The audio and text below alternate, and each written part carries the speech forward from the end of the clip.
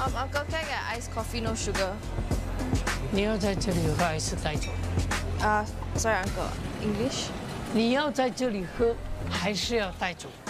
You're Chinese, right?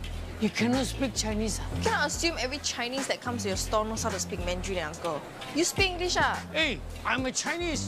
Why must I speak English? Maybe because English is the national language of Singapore, Uncle. Malay is a national language in Singapore. Can you speak Malay? Boleh cakap Melayu tak? Cakap apa?